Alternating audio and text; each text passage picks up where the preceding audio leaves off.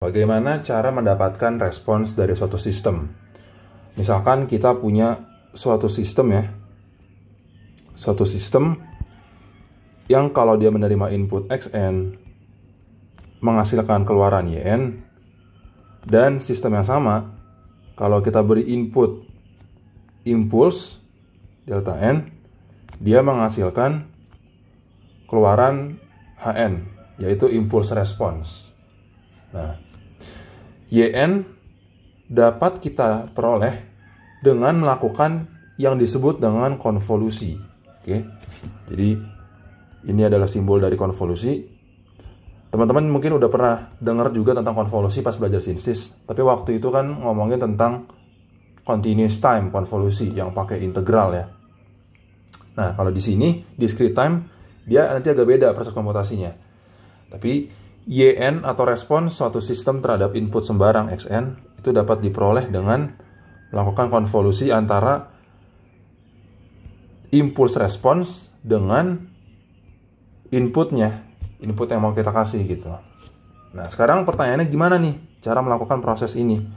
Gimana? Oke. Okay. By definition, proses konvolusi ini sama dengan menjumlahkan HK dengan ya ini dulu deh saya tulis dulu persamaannya ya nah seperti ini YN sama dengan HN convolves XN sama dengan penjumlahan untuk setiap K dari HK dikali XN minus K. Oke, kalau HK mungkin ya HK gitu, dia bedanya variabelnya sekarang K doang. Nah, apa itu XN minus K? X n minus K, kita kan bekerja dalam variabel K ya. Kita ingat kita bekerja dalam variabel K bukan N. Berarti kita melakukan segelintir proses dari XK kita balik dulu sinyalnya menjadi xn minus k. Eh, sorry, menjadi x minus k. Misalkan ini ini misalkan xk ini k kalau misalkan XK itu seperti ini, maka X minus K itu dibalik gitu. Jadi seperti ini. Dia jadi dia di flip gitu. Nah, setelah X minus K dapat, kita geser sejauh N. Kita peroleh XN minus K, oke? Okay? Jadi ini kita flip terhadap sumbu tegak ini kita geser sejauh N. Nah, setelah itu kita udah peroleh ini, kita kalikan dengan HK gitu. Dikalikan saja. Oke, mungkin biar lebih kebayang, kita coba pakai contoh ya. kita coba pakai contoh. Misalkan kita punya suatu sistem ya sistem LTI gitu. Dia mentransformasikan input yang memiliki fungsi transfer eh sorry fungsi transfer. Ya impuls responsnya gitu ya. Itu udah diketahui. Misalkan dia terbatas. Misalkan 1 2 minus 2 atau lebih banyak lagi deh biar lebih jelas ya. 1 2 minus 2 3 dan nolnya misalkan di sini Nah, kemudian kita punya input xn misalkan 3, 0, 4 sama 1 deh. Misalkan 0-nya ada di sini. Oke. Gimana nih cara melakukan proses perhitungannya? Kita ingin tahu kalau ke sistem ini kita kasih input xn, bagaimana dengan responsnya? yn sama dengan apa? Oke. yn sama dengan Hn dikonvolusikan dengan Xn. Berarti tadi ya, definisinya sama dengan penjumlahan dari hasil perkalian Hk dengan Xn minus K untuk setiap nilai K yang mungkin. Mungkin artinya tidak menghasilkan nilai 0 ya. Nah, oke, kita coba dulu ilustrasikan. HK itu gimana sih? Ya, HK itu kan kalau kita buat dalam bentuk tabel seperti ini ya. Nah, ini adalah HK dengan nolnya di sini. Sedangkan X K itu ya seperti ini ilustrasinya 3 0 4 1 3041 nolnya ada di sini. Nah, X minus K gimana? X minus K berarti kan ini kita flip kan? Kita flip. Jadinya 1 1 4 0 3. Nah, 1403 nolnya ada di sini. Berarti ini udah menjadi yang pertama, ini yang kedua, ini yang ke minus 1 gitu. Jadi dia di flip. Nah, ya sudah, sekarang kita udah dapat X minus K. Kalau X minus X N minus K, ini tergantung berapa N yang mau kita tinjau gitu. Nah, dalam proses perhitungannya, kita tinjau masing-masing. Nanti kita coba tinjau kalau N-nya 0, kalau N-nya 1, 2, 3, dan seterusnya. Kita juga ngecek nilai negatif, minus 1, minus 2, dan seterusnya. Oke, kita coba evaluasi satu persatu. Tinjau ketika N sama dengan 0. Berarti kita peroleh Y0 akan sama dengan kalau N-nya 0 kan jadinya HK dikali X minus K, betul nggak? Ya kan, kalau N-nya 0, HK dikali X minus K. HK kita udah punya ini. 1, 2, minus 2, 3. Ini saya buat tabel deh, biar lebih rapi. Mungkin jadi agak lama, tapi nggak apa-apa, biar lebih jelas. Ini adalah XK-nya. Sorry, HK-nya. X minus K-nya. Nah, kita align ya. Kita coba align-kan nilai nolnya. Kita sejajarkan. Kan tadi HK itu nilai nolnya di sini. Berarti kalau kita mau nulis X minus K, ya di sini. 1, 4, 0, 3. Seperti itu. Karena dia nolnya ada di sini. Nah, ini udah sejajar. Kita kalikan. Tuh, kita kalikan. Satu kali satu. Ini dua. Eh, sorry, sorry. Satu kali satu, satu. Dua kali empat, delapan. Ini nol, ini sembilan. Berarti kalau dijumlahkan, 10 tambah 8. Berarti 18. Itu ya. Jadi ini dikalikan saja, dikalikan, dikalikan, lalu dijumlahkan semuanya. Atau mungkin gini ya, biar lebih jelas. Ini 1, ini 8, ini 0, 9, dijumlahkan semuanya sama dengan 18. Nah, N sama dengan 1 gimana? Berarti kan kita nanti dapat Y1. Kalau kita lihat, kalau N-nya 1, berarti nanti HK dikali X1 minus K. Apa sih X1 minus K? X1 minus K itu X minus K digeser ke kanan sejauh 1.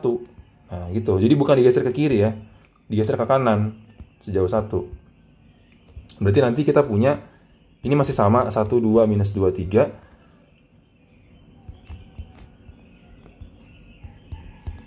Nah, sekarang H sorry, X1 minus K itu kita geser ke kanan 1. Berarti jadinya 1, 4, 0, 3.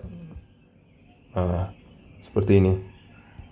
Ya sudah, kalau udah seperti ini kita kita kalikan, lalu kita jumlahkan. 2 kali 1, 2, ini minus 8, ini 0. Ini pada dasarnya kalau nggak ada, ini 0 semua ya sebenarnya. 0 semua, berarti kalau dikalikan dia 0 gitu. Nanti berarti 2 minus 8, 0. Ya, kalau dijumlahkan dia adalah minus 6.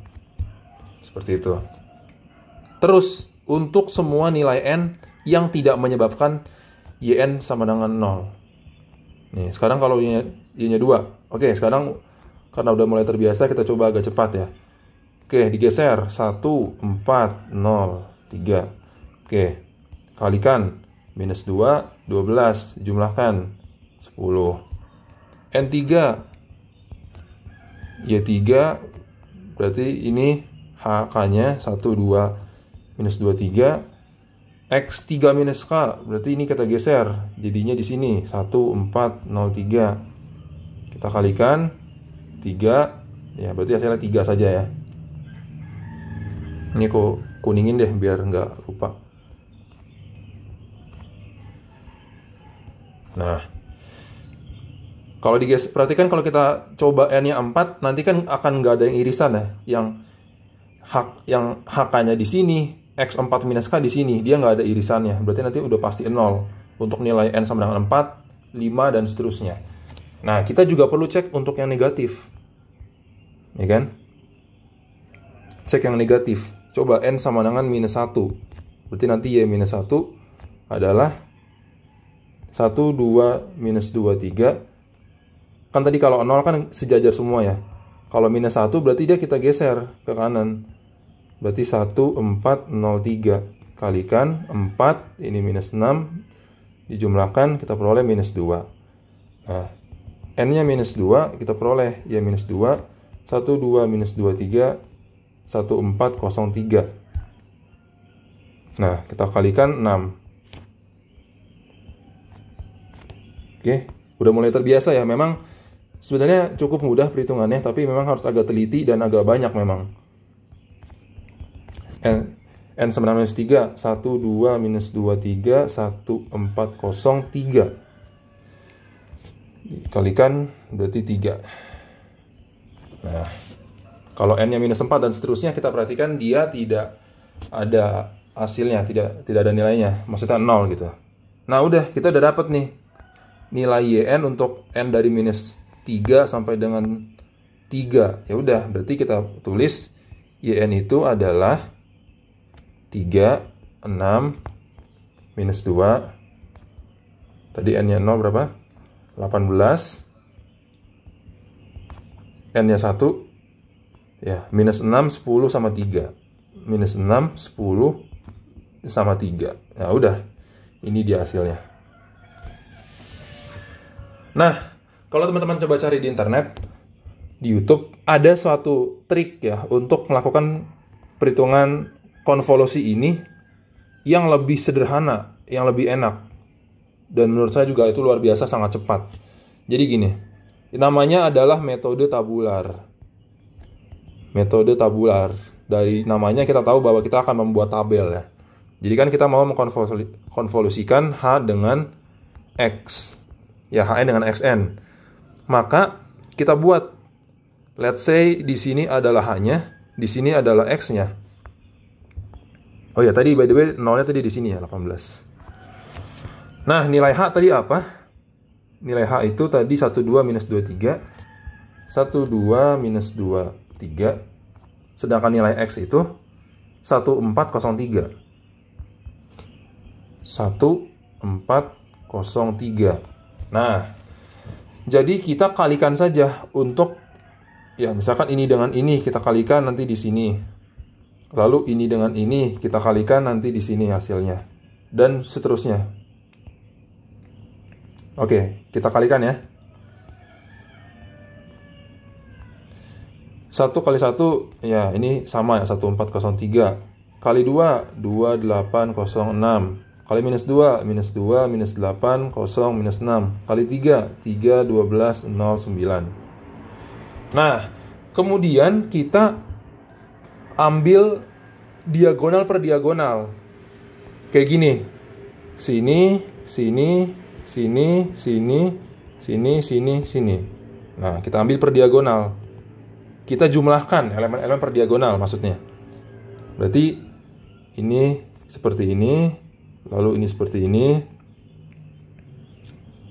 yang ini seperti ini, kemudian ini seperti ini. Oke, sampai habis. Nah,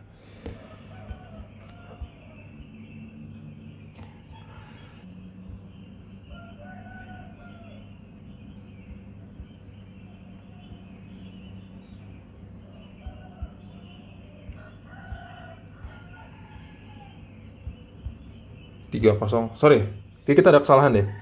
Maaf. Sorry tadi 1403 itu X minus K ya. Sorry harusnya nih 3041 maaf maaf. Ada kesalahan. Sorry. 3041 3041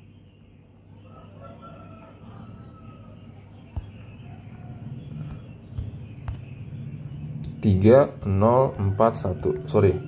Berarti 3041 6082 minus 6 0 minus 8 minus 2 9 0 12 3 maaf ya ya udah ini segini segini segini ini ini ini nah elemen yang di dalam satu komponen diagonal ini kita kali kita jumlahkan. Nah, berarti yang pertama ini itu kan 3. Kemudian ini kita jumlahkan 6. Ini minus 2. Ini 18. Ini dijumlahkan minus 6. Oke, 2 tambah minus 8 itu minus 6. Kemudian ini dijumlahkan 10. Ini kita jumlahkan 3. Nah, YN adalah ini. Nolnya di mana? Perhatikan tadi kalau kalau H itu kan nolnya di sini ya. Di 2, ya nggak? Jadi di 2. Sedangkan X itu nolnya di 4. Nah, berarti kita lihat dia pertemuannya di mana? Sub, sub. Oh, di, di 8. Berarti 8 ini kan ada di grup yang ini. Grup yang hasilnya 18. Berarti nanti nolnya itu ada di sini. Gitu. Atau kita hitung dia ada berapa? 1, 2, 3, 4. Oh, berarti 1, 2, 3, 4. Elemen, elemen keempat. Gitu. Kita lihat hasilnya sama ya antara proses perhitungan secara konvensional dengan cara tabular. Jadi teman-teman good to know saja bahwa definisi konvolusi itu seperti ini. Dan kalau misalkan ada kuis ataupun ujian diminta dengan menggunakan cara konvensional, silakan lakukan proses perhitungan seperti ini. Tapi kalau misalkan teman-teman ingin cepat atau lagi ingin proses verifikasi, silakan menggunakan metode tabular seperti ini karena jauh lebih cepat. Oke. Jadi itu dulu untuk video kali ini. Kita udah tahu cara mencari respon suatu sistem dengan proses konvolusi. Ini perhitungan paling basic. Di babak berikutnya kita akan mencoba berbagai macam cara, cara-cara lain ya untuk mencari respon suatu sistem. Tapi paling basic adalah dengan cara melakukan proses komputasi konvolusi secara langsung. Oke, untuk video kali ini sekian dulu. Terima kasih.